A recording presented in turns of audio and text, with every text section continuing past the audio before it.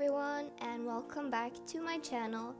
I recently went to Sweden and today I thought I would do a stationery haul to show you what I got while I was there.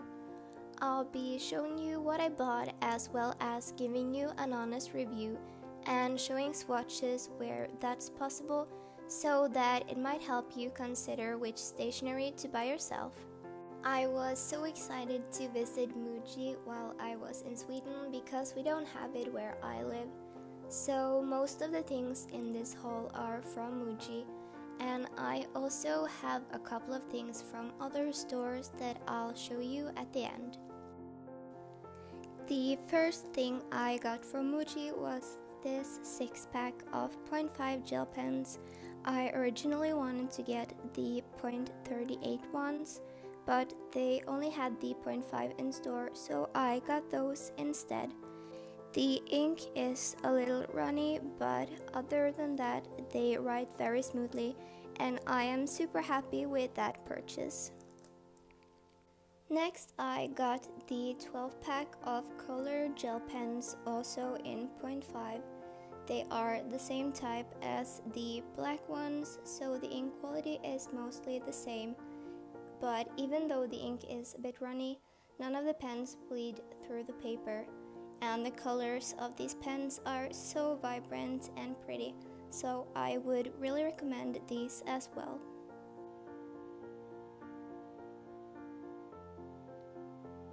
Next, I just got this eraser and I wasn't quite happy with it. It is very soft and it just doesn't get everything away that good, so I maybe wouldn't recommend it, but at least it was very cheap.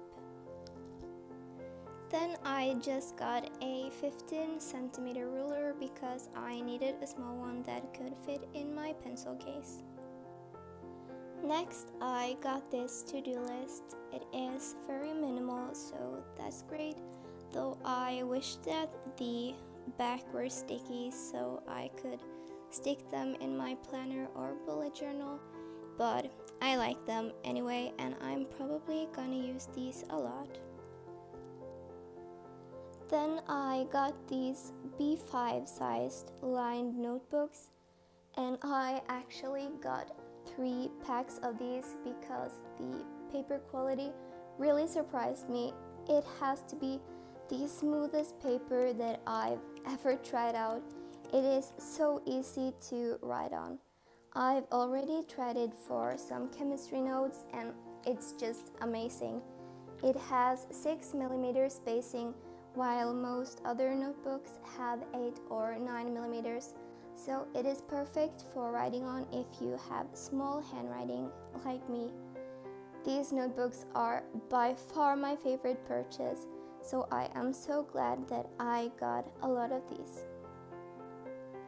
Then I got the iconic Muji pencil case and I had planned to get the one with the eraser compartment up here but they didn't have it so I got this one instead. It's just very minimal and small so it's perfect if you just want to bring a couple of supplies to for example an exam um, the only thing that I didn't like was that it is kind of short, so a lot of pens don't actually fit, but it obviously fits the Muji pens as well as other shorter pens and markers. And finally from Muji, I got the acrylic box with drawers. Like the pencil case, it's also kind of short, but you could either store your shorter pens in there or you could just remove the drawers and turn the box around so that you can have pens of all lengths standing in there. Um, I just think it's very practical to have if you have a lot of stationery that needs to be organized. I got a few things from other stores as well. And first I got this 8 pack of erasable Uniball signal pens from the store Panduro.